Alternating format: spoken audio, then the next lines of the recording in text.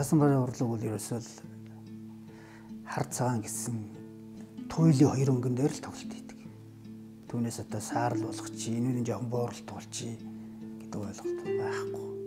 Тэгэхээр ерөөсөө хоёр хүчтэй өнгөөр аливаа дүрс юу илэрхийлнэ гэдэг бол яг л эцсийн юугаар бодож байж л хийхгүй бол одоо өө дунд нь нэг одоо орон зураач нар шиг биерийн ширүүлэлтээр ч гэдэг юм нэг будаг өнгө нэмээд өөр болох чи гэдэг алгалт байдаг учраас ерөөсөө эхнээсээ л яг хийхээс өмнө хийх зүйлээ ерөөсөө дотроо бол яг л төгс зурцал байж бол тэгэл эхэлж л гэдэг.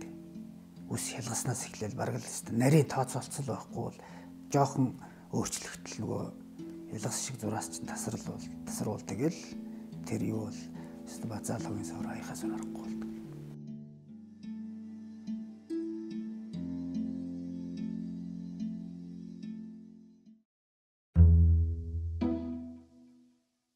Wasn't only used for books and diaries, it was the main material for paper cutting art. When paper was initially invented, the price was extremely high, and therefore, only kings and majesties used it for their accessories. As time went on, paper factories began developing, and the price eventually dropped, making it available to everyone. Since paper became accessible, the culture of creating ornaments and cutting paper to make designs became widespread. Researchers have proved that the art of paper cutting passed on to the many countries through the Silk Road, such as Japan and Korea in the 12th century, to Persia in the 13th century, and to Turkey in the 15th century. In every country, the designs and patterns vary depending on the different cultures.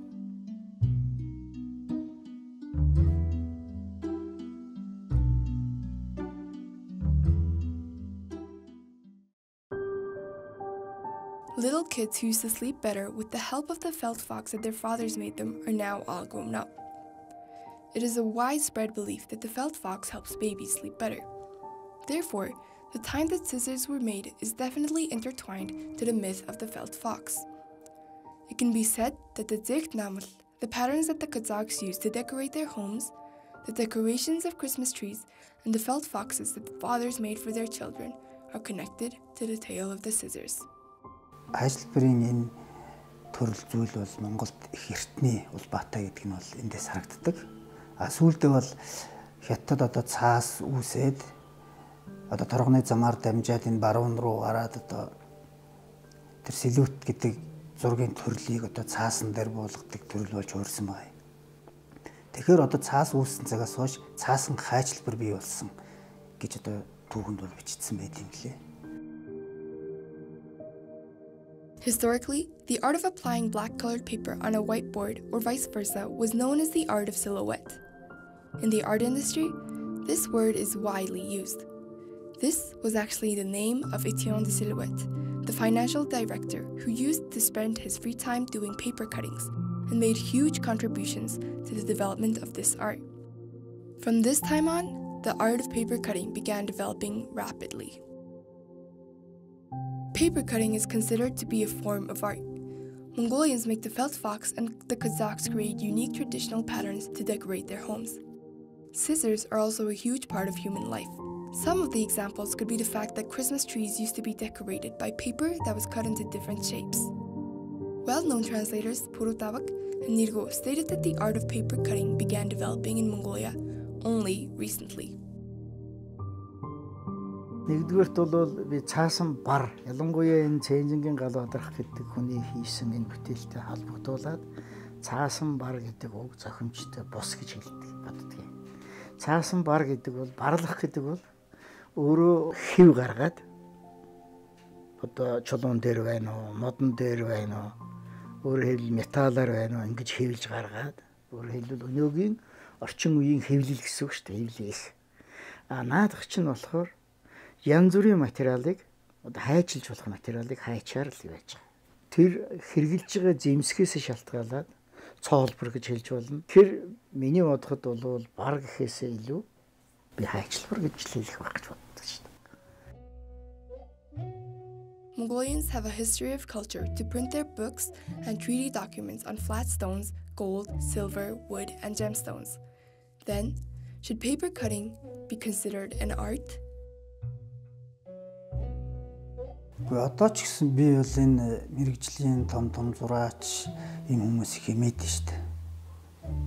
Би яг ч юм дөөрөө тийм төрслөг урлагийн талын мэрэгжилгүй юм, боловсралгүй юм. А зөвхөн өөрийнхөө ингээд энэ сонирхол одоо байглаас өгсөн жоо хөөгдөхүүнээр л энэ хийж явдаг. А тэгэхдээ энэ нэг бол би хин нэг нь таалагдах гэж хин нэг нь магтуулах гэж юм ерөөсөө хийдгүй. Энэ бол миний хувьд бол энэ миний зугаа шүү. Өөрийгөө зугаацуулж л хийдэг. The famous storyteller Hans Christian Andersen liked to decorate his stories with paper that had been cut in certain designs. His paper cutting artwork is still on display in museums. In addition, researchers have proved that the famous painters Ilya Repin and Henri Matisse also had an interest in the art of paper cutting. Яг Монголд бол одоо энэ заасан бараар хэдий үеэс өгдсөн, яасан ийсэн гэдгийг бол одоо яг тогтоодсон, судалдсан зүйл бол байдгүй мөлий. Тэгэхээр манайд бол нэлийн сүүлд энэ 60 70 оны үед сандаг дорж гэдэг хүн одоо Оросд сургууль төгсөж ирээд хэвлэлийн чиглэлээр энэ цаасан хайшилбарыг нэлийн төлхөө хөгжүүлэх гэж үтсэн байдаг. Энэ тухай төдөөгүй одоо Монголын цаасан хайшилбарын эцэг гэж сандаг дорж байгаа тухай бичсэн байдаг.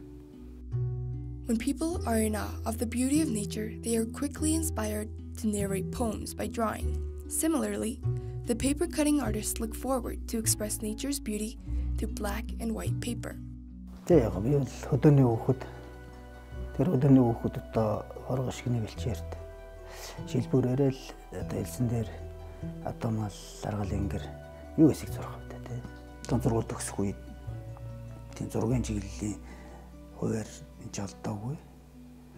Яг л өөр чиглэлээр сургуульд ирчээд 95 онд оюутан болж хотод ирээд одоо танилцах их аялал идэг шүү дээ.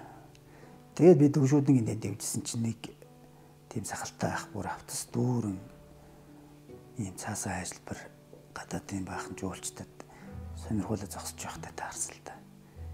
Тэгээ би тэрнийг их шохорхоод ер нь их л гоё сонд орл юм байна да. Энийг бол би ээж чадах уу яах вэ гэл нэг тийм сонирхол төрсөн. Яг тэр бүтээл рүү нэг анхаарад хэн гэдэг хүн тэрний хийдэг хийж байсныг нь би ерөөсөө анзаараагүй. Эсвэл тэр үнтэй таараагүй. Тэгэл тэндээс л улбаалал ер нь гэрте очивол зүсэх юу яагаад одоо нөгөө дээр үед Оросын сахлын претик гэж байсан да. Хар претик тэрнийг ингэ зүсч зөөрлөж гаргаж байгаад тэгэл ер нь л хар цаас гэж тэр үед хар цаас олдохгүй. А гэрэл зургийн нөгөө пелонкны нэг хар цааснууд байдаг гэсэн их зузаан. Тэрэн дээр л одоо ийм барлахын үгэл эхэлж хийсэн дээ. Тэгэл ер нь яваа явандаа нилээ сонирхол хийгээд идэг байсан. Яг нь тэр үл дандаа л ахуй байгалийн л юмуд идэг байсан. It can be understood that the art of paper cutting is purely based on black and white colors. It is very difficult to express things only through these extreme colors. You must plan really well as you cannot change anything once you've started. Therefore, Gajpatruk imagines his end result and plans everything from start to finish.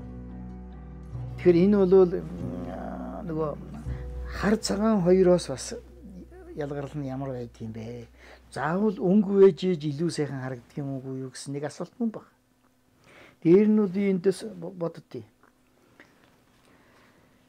Хар өнгөнөөс хар өнгөөс хашгирдаг юм байна гэж. Тэг санагддаг шүү дээ. Тэгэхээр энэ галуудрахын юмнаас гадна бас их сонин сонин зохиомжууд энэ дотор бий.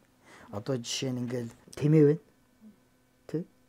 аль тэмээ илүү гараад байгаа юм бүү юм. Аль тэмээ нь өнгөн дотроос ялгараад байгаа юм уу? Бүр харин хар өнгнөөс дотроос тэмээ нь илүү ялгараад байгаа юм бүү юм. Тийм ээ. Ийм битэн юмнууд бол байгаа. Дээр нь одоо чинь хум байна юм өнгөт сайхан хон. Тэгтэл хар цагаанаар хийсэн өнгө. Аль нь илүү гоё харагдаж байгаа юм. Бас бүгд. Тэгэхээр өөрөөр хэлбэл энэ яруу найрагчийн хүн болвол бас л яруу найргийн маргаан хийж л юм гэсэн үг. Би бол тэгж л боддتي. А яагаад гэдгийг би бол мэдэхгүй. А ер нь энэ дотор бол би ганцхан юм боддتي. Агуу юм энгийн байдаг гэдэг тийм ээ. Агуу юм энгийн байдаг. Энгийн юм агуу байдаг ч гэж хэлж байна. Төвчээрийн л орлого юм шиг байна шүү дээ. Би л өглөө нэг 5 цагт бус суугаад өдөр жин суугаад орой нэг 10 11 болцсон байх үе надад байдаг шүү дээ. Тэгээд бол тэрнийг ядарснаач мэдгүй цаг хугацаа яаж өнгөрснийг ч мэддэггүй шүү. Анхаарал бүх анхаарал энэ дээрээ төвлөрүүлдэг. болохоор ерөөсөн нөгөө нэгсэн даадад ертөнцөөс бараг л өөрийгөө тусгаарлцдаг юм шиг байгаа шүү. Их онгодоор хийдэг биш ээ. Одоо шүлэг үчигч гэдэг юм уу? Тэрнийг бол онгодоор хийж болно шүү дээ. Өө өстөгөөс хүний юу ороод ирлээ гээл цаас барьж байгаа чигтийн хэргаал ажиллал зүсэл юу гаргаад ирнэ гэж байхгүй те. Одоо бас техникийн даваа талыг ашиглаад копи доод сканертай даваад үлдсэн тэр юугаа багцаалдад харахад нэг хүмүүсийн хөрөг надад бол нэг 3 4 мянган хүний юу бол байна шүү дээ. Тэрнээс өмнө одоо за хэдэн мянга бай гэхэд ямар ч нэг хэдэн зугаа хүний бол хийсэн л байх л гэж Тэгэхээр ямар ч гэсэн нэг хагас том хүний хөрөгийг бол би баралсан байх л гэж бодож байна. He creates portraits of everyone. It does not matter if they are young or old, heavy or skinny, rich or poor. Therefore, his artwork collection includes people of every category and different professions, such as sports, law, culture, art, politics, science, literature, and journalism. Тэд нөгөө бурхны зурагт бол байдаг шүү дээ. Тэг гэж одоо нөгөө нэг бурхан зурх чи яг тэр тэгийг олж иж л нөгөө бурханаа бүтээдэг гэдэг шиг. Тэгэхээр би бас тухайн хүний тэр хөргийг цаасаар барлахын тулд бас л дотроо тэр тэгийг олж зурж иж л тэгж илүү цааснараа гарч ирдэг. Тэр тэгийг олохгүй бол тэгэл хүн ямар ч хөөрхөн ямар ч гоё явахгүйсэн зураг өгөөд тэгэл гартгүй юм да. Тэгээд их удаа хугацаанд яг гараас гарцсан бүтээлгүүл өөр л дөө. А ер нь бол гараас гараагүй байгаа зүйл л одоо хамгийн урт удаан хугацааг дуулж байгаа байх. Одоо 2 3 жил бодоод төрхийг гаргаж чадахгүй байгаа тийм хүн бол надад байна л да. Тэгэл одоо нүд нь гараад ирэхээр хамар нөр болчдөг. Ам нь яг өөрийнх нь мөн болохоор хамар нэш болчдөг. Нэг юм заавал ингэ зөрөөд болчихдгоо. Тэгэл одоо тийм чи дахиад бодно шүү дээ. Тэгээ тэр хүний тэр өөрийнх нь нөгөө байглаас яасан тэр дүр төрх гэж нэг юм байл л да. Тэр чи янз янз хүмүүнийх өөр өөр байгаа байхгүй. Тэрний тэгээд би олж чадахгүй болох олж чадахгүй байна л гэж боддоо шүү дээ. 20 30 минутанд чих хүмүүс байдаг л. Оны яг маш богино хугацаанд хийж өгөх арга байна уу гэж хэлсэн л дээ. Бас овооч гайгүй үн Тэгээ би үзээл гэсэн. Тэгээ би нэг төрний юу захиалганы 20 минутанд л хийж гисэн даа. Тэгсэн нөгөө хүмүүс маань бол энэ чи их амархан юм байна шүү дээ. 20 минутанд хийждэг ийм өндөр үнэтэй юм гэж ямар юм байсан гэх нөгөө юун дээр төлбөрөн дээрээ тэгэхээр нь одоо явахт би бол тэгэл хэлсэлт за явах явах та тэгээд өөрийнхөө хос мөнгөн дээр унжиж байгаа бол вэ. Гэтэ би энэ нэг 20 минутанд хийхин тулд би 20 жил ихэ хөдөлмөрийг зарцуулсан шүү дээ. Энэ үнийг хийж сурахын тулд тэгж л хэлсэн. Тэгсэн чинь 20 жил гэдэг чинь их өмнө сонсогдож байна шүү гэдэг тэгээд тэр хүн тэр өсөө өгсөл танаас. Тэгээд тэр хийж байгаа хүмүүсээс хүнээс шалтгаалтай яг. The well-known poet Lauk Surang defined the art of paper cutting as the art of reduction. The truth is that the artworks come to life by reducing, and it is impossible to add. Тэ нутаг усныхаа юг бол би бас яг манай нутгийнхаа нэг хайрхныг бол би бас л дээ.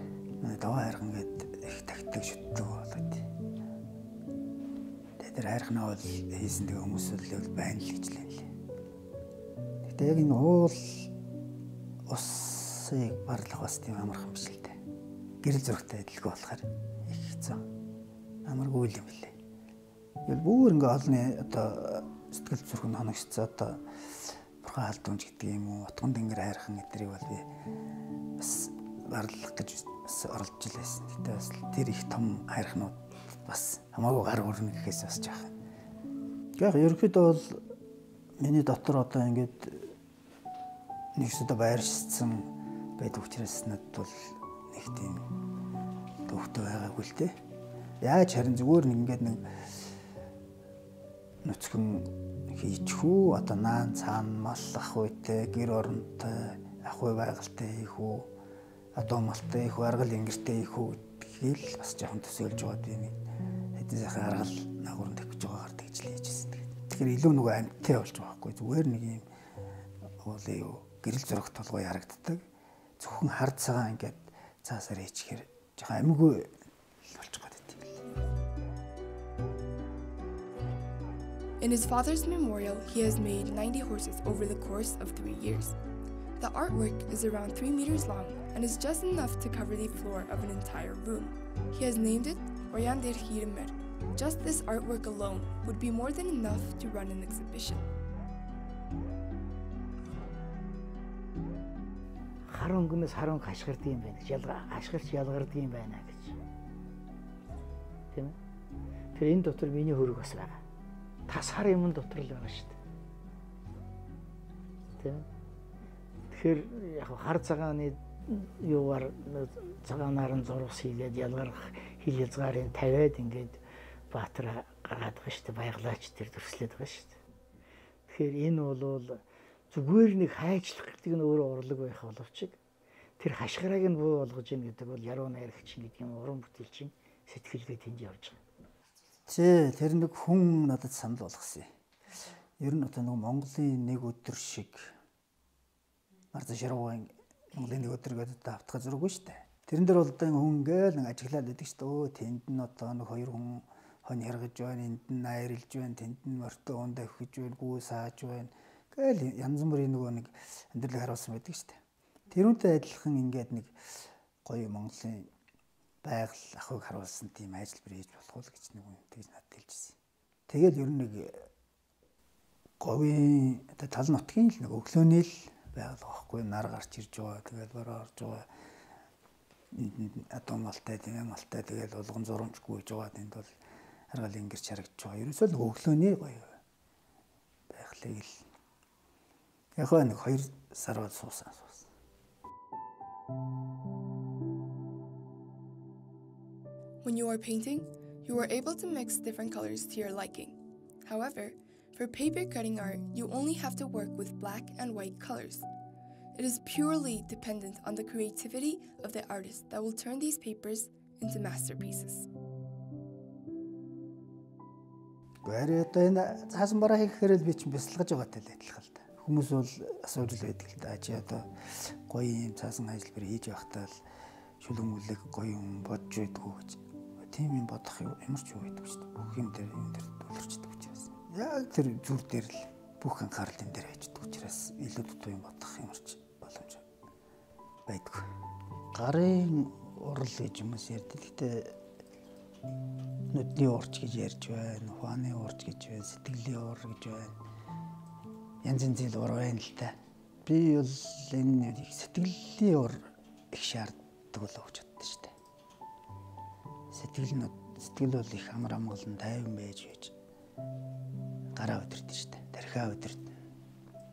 Тэгэхгүй одоо ингээл сэтгэлэн дэлгэлээд байгаа бол ичнээ хүн харахад нэг амар амгалан бурхан шиг тайван байгаад байгаа төртөө харагдавч дотроо бол өстэй жинхэнэ нөгөө Атлантын талаа зэлгэж байгаа ч юм уу авраг манхан нурж байгаа юм шиг тийм долгионтой үед бол ийм юм хийх ямар ч арга байхгүй болчихсон.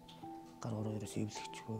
Тэгэхээр дотроо ерөөс сэтгэлийн их амар амгалан байж ээж л энийг ер нь хийд юм да. Гадны ертөнцөөс бараг л одоо тасарч байж зөвхөн тэр өөрөөхөө тэр хийж байгаа зүйл дээр л бүх анхаарлаа төвлөрүүлж байж. Тэгэхээр гарын уур тэр ухааны уур гэдэг тэр сэтгэлийг төвчд гэж барих тэр л их чухал юм шиг санагдаж байна.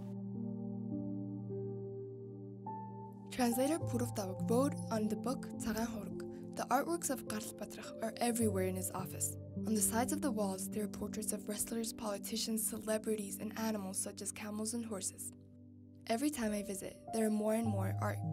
Also, you can see the logos that he made for his customers through Facebook, Messenger, and mail. It seems that this trend is becoming more widespread as the time passes. Тэгж хувааж хөлж байсангүй. Би бол ер нь хийж байгаа юмдаа 900% л юу зориулдаг шүү дээ. Шүлэг битсэн ч гэсэн, сэтгүүлчих ажлыг хийсэн ч гэсэн энэ цаасан барыг хийсэн ч гэсэн 100 хувиар л хүмүүс боддог. Би бол 300% л хийдэг байх гэж боддог шүү дээ. 3-ын 100 100% Тэрнээс одоо нэг нь 30%, нэг нь 40% нэгдэг ойлголт байхгүй.